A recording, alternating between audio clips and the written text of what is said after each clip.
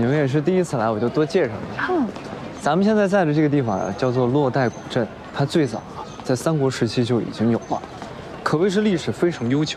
这古镇其实是在成都的龙泉山，咱们现在在的这条街也是一条千年老街，保存的非常完好。这条街呢，也是呈现出来了一街七巷子的一个格局，而且是属于非常明显的明清建筑风格。啊，那为什么叫洛带古镇呢？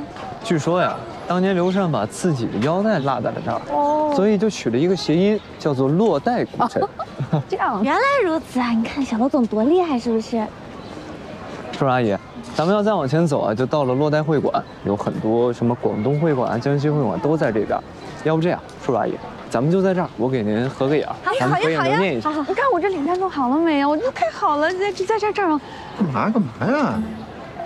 你得往前走吧，要不然什么时候能逛完啊？啊？呃，小罗总，你下午不是还有个会吗？你来不来得及啊？要不就先先去。会耽误吗？哦，那个，对我下午确实有个会。那这样，叔叔阿姨，你们先逛逛，等你们逛完了，我过来接你们。不用不不不不，干嘛呀？这么麻烦是吧？那个我们自己逛逛就行了啊。那好好，那工作要紧啊，你不用管我们。哎，好嘞。